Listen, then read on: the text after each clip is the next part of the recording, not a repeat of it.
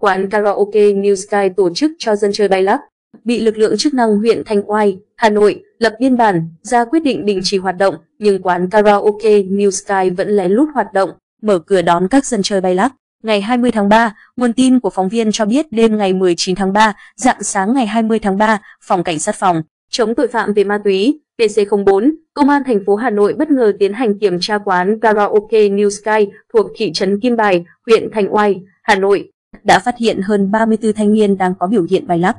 Trước đó, tháng 12 năm 2022, Công an huyện Thanh Oai đã tiến hành kiểm tra, lập biên bản, ra quyết định đình chỉ hoạt động đối với cơ sở kinh doanh dịch vụ karaoke này do không đảm bảo an toàn phòng cháy, chữa cháy theo quy định tại thông tư số 147 gạch chéo 2020 gạch chéo TT gạch ngang BCA ngày 31 tháng 12 năm 2020. Nguồn tin cũng cho biết mặc dù đã bị công an huyện Thanh Oai đình chỉ hoạt động, hàng đêm quán karaoke này vẫn lén lút mở cửa đón khách. Đặc biệt, ngay trong giai đoạn cao điểm của dịch COVID-19, quán karaoke này vẫn mở cửa hoạt động và có dấu hiệu của việc tổ chức sử dụng chất cấm,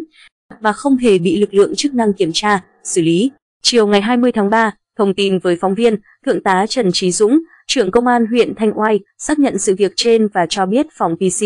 Bốn công an thành phố phối hợp với công an huyện Thanh Oai tiến hành kiểm tra cơ sở kinh doanh dịch vụ karaoke New Sky và bắt giữ 34 người nghi vấn sử dụng trái phép chất ma túy, đưa về trụ sở để phân loại, xử lý theo quy định. Nhật Minh, bảo vệ pháp luật.